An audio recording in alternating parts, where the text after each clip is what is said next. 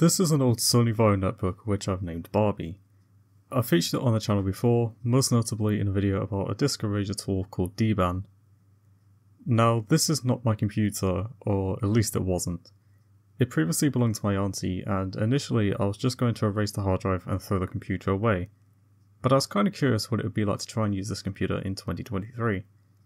Because I've tested different operating systems with low amounts of memory before, but putting into an OS in a VM isn't the same as actually using a computer. So could such an old and slow computer actually be usable with the right software? And what can we achieve if we max out the memory and upgrade the drive? Specs wise, this laptop has an Intel Atom N470 processor. This CPU was slow even for its time. In fact, it's even slower than most Pentium 4s. It also came with 1GB of DDR2 RAM a 250GB hard drive, and terrible integrated graphics. In terms of the software, most netbooks came with either Windows XP or Windows 7 Starter, a heavily stripped down build of Windows 7 that lacked features like Aeroglass and even the ability to change your wallpaper. But of course, both operating systems are now outdated and unsupported. Windows 11 and macOS obviously don't work due to their own hardware constraints, and while Windows 10 could work in theory as it does have a 32-bit version, I opted to use Linux instead because Linux is based. And frankly, I don't have much faith in Windows 10 since Windows 7 and XP don't even run that well. I decided to install Debian as the amount of distros that still support 32-bit processors is quite limited.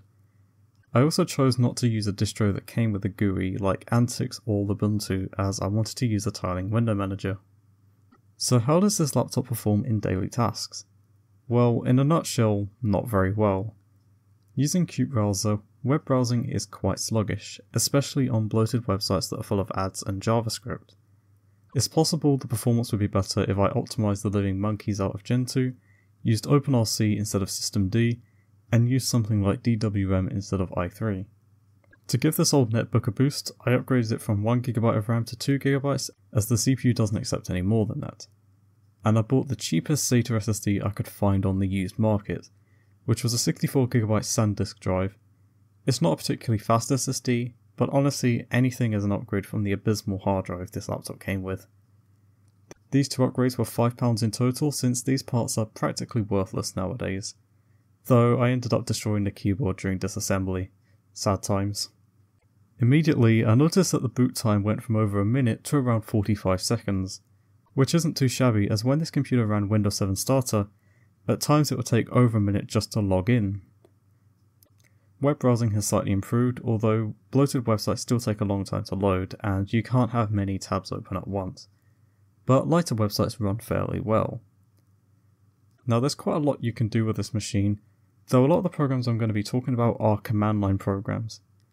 So first I installed Newsboat, which is a terminal RSS reader and this works well not just for reading random people's blogs, but you can also get a feed from news sources like the BBC and New York Times. You can also subscribe to YouTube channels and subreddits using RSS. Next I installed Lynx, which is a terminal based web browser. It's obviously nowhere near as practical as a normal web browser, but it does work well for things like reading Wikipedia articles. For other forms of web browsing, you can just use qutebrowser if you don't mind exercising a bit of patience. Yeah, it's quite ironic that a device called a netbook isn't that good at browsing the net. For creating documents, LibreOffice works surprisingly well. Though of course, if you want something lighter, you can use a plain text editor like Vim, LeafPad or Geany. You could also install TeX Live to create LaTeX documents.